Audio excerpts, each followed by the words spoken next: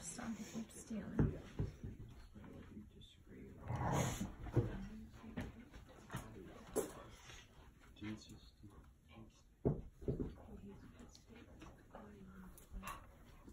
You need to- you need to- It's slowly getting there.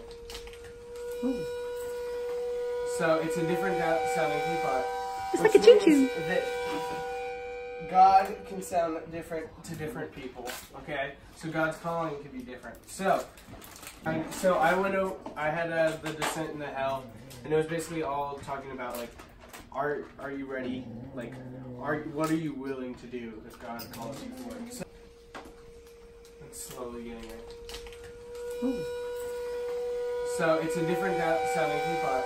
It's like a choo-choo. means That God can sound different to different people. Okay, so God's calling can be different. So basically, my next question was: Are you willing? Um, are you ready to even go? So yes, I hear the calling and I'm ready. But have I set up everything else? Have I gotten out the coffee or tea? And have I gotten out the tea packet? Okay, you have to be ready for the calling as quickly as you can. Otherwise, it's all going to evaporate. I know it takes a while, but it will. Okay. So, and then our biggest thing that we always have to keep in mind is just why are we not willing to? Um, one of the main questions that was asked was, um, what are the conditions of listening to God? Do you have any? What are your thoughts on? What do you think Jesus' thoughts on having conditions on His love is?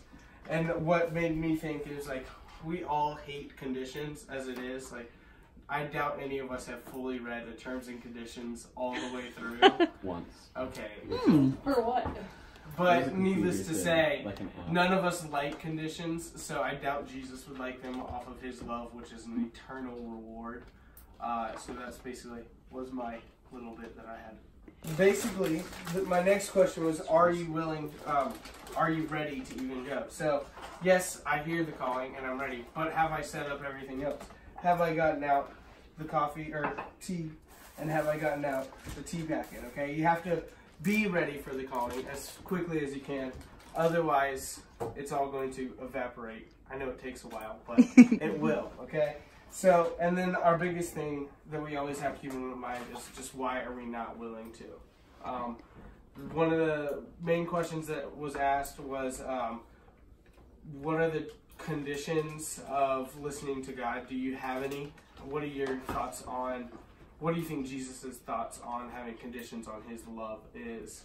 And what made me think is like we all hate conditions as it is. Like I doubt any of us have fully read the terms and conditions all the way through. Once. Okay, For what? But needless to say, like. None of us like conditions, so I doubt Jesus would like them off of his love, which is an eternal reward. Uh, so that's basically was my little bit that I had.